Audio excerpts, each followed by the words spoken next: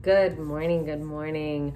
Today during prayer, we were reminded of how special uh, it is to know God and to be with God and to be able to walk with the Holy Spirit and and understand that you know Jesus gave His life for us. And so, um, I really would like to invite you to our uh, daily prayer. I would like to think that it's unique from any other one that you have experienced. Um, we come together, we lift each other up with one another, um, and we're able to really share from the heart. Um, you know, sometimes we have people that join the line and they're quiet, and um, you know, we we welcome you as well.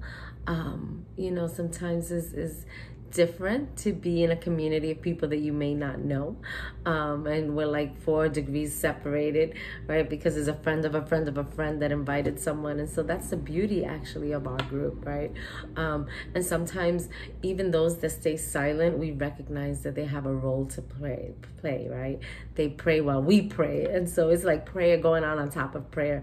And um, when we get off, we really feel charged and encouraged. And there has been people who said that um, when they don't call the prayer line, you know, their day is not the same.